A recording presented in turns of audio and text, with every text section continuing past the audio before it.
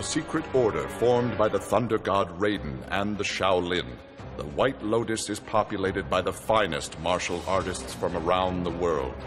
Their sole purpose is to hone their skills in preparation for the Mortal Kombat tournament.